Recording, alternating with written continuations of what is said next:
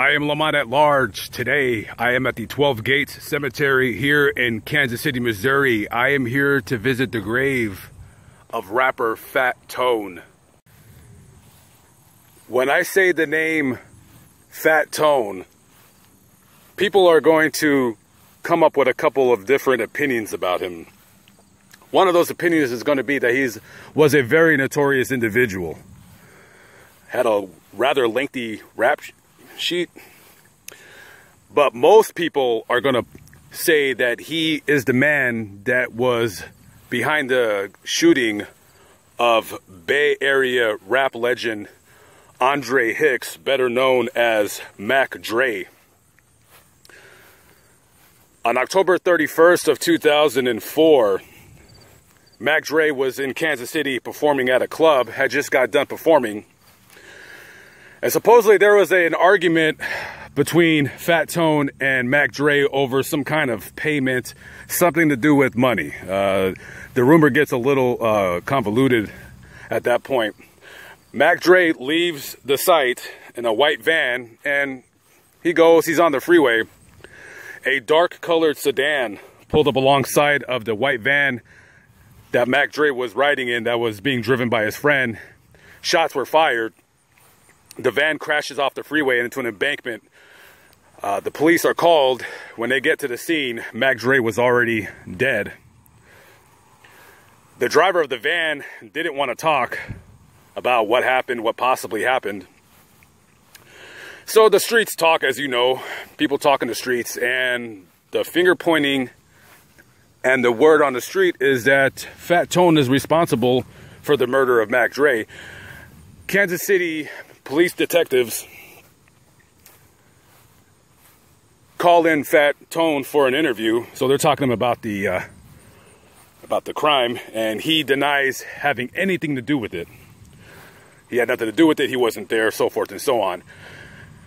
In the eyes of the Kansas City homicide detectives, uh, he remained a person of interest at best. He was never charged with the murder of Mac Dre.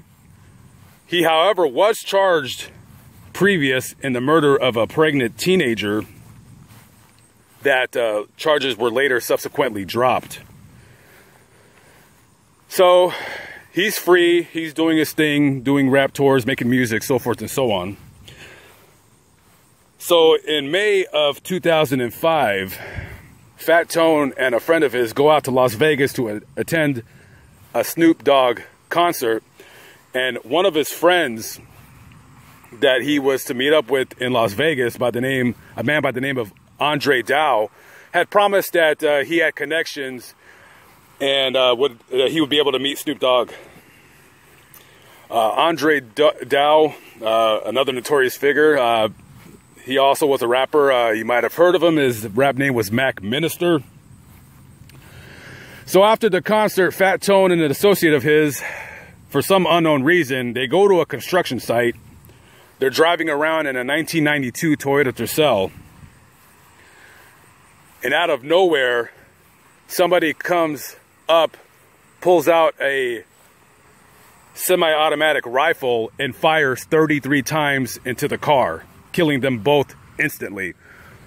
According to the autopsy report, Fat Tone was shot 20 times and the other gentleman beside him was shot 13 times. You may want to call it the streets cleaning itself up, whatever the case might be.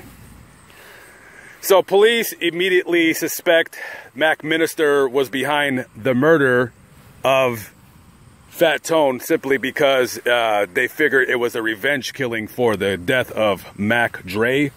Mac Minister goes on the lam uh, one of the most uh, viewed episodes of, of, America's Most Wanted featured uh, Andre Dow and him being on the run. When, when Mac Minister was in Las Vegas, he was with an associate of his, Jason Mathis. And Mac Minister had a girlfriend who was really an escort. Her name was Lee Danae Larson. Police have Miss Larson buying ammunition for the same kind of gun that was used in the murder of Fat Tone nine days previous. So this was a planned hit. And all all the evidence pointed to uh, Jason Mathis and Mac Minister being behind the murder of Fat Tone. When they fled back to the Bay Area, Lee Danae Larson was found shot to death in a field in Fairfield. I guess we can't have any witnesses now, can we? Eventually, Mac Minister is caught, and along with uh, Jason Mathis, and they are both tried for uh, two counts of first degree murder, and they're both subsequently sentenced to life in prison, where they remain to this day. Uh, the Mac Dre murder has never been solved. So let's go to the grave of this notorious figure known as. And here we are. This is the grave of Anthony Fat Tone Watkins, April 29th, 1981 to May 23rd, 2005. It's real. Um, there's some flowers here for him. He's been dead for 14 years now. And uh, dead men tell no tales. Uh, who knows if he was behind the murder of Mac Dre? Uh, whatever crimes this man committed in his life, in a sense, have been paid in full. Now he lies here in the ground, never to speak or be heard from ever again until possibly his friends and family meet him on the other side, wherever that other side is.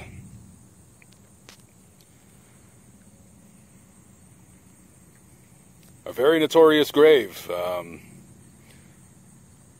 and uh, pretty young guy, just turned 24 years old when he was shot and killed. Who knows what happened? The streets can talk all it wants, but uh, at the end of the day, we just, we don't know who did what.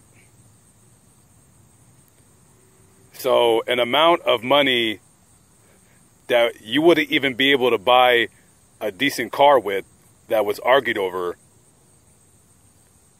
and two people, three people, excuse me, four people shot and killed over a few thousand dollars. I mean, literally, if a lot of people already know this story, but if you would see the amount of money that they have fought over, it's ridiculous. You could even take that money and have a a, a, a great vacation to Vegas on that. There's rumors that it was less than three thousand dollars. So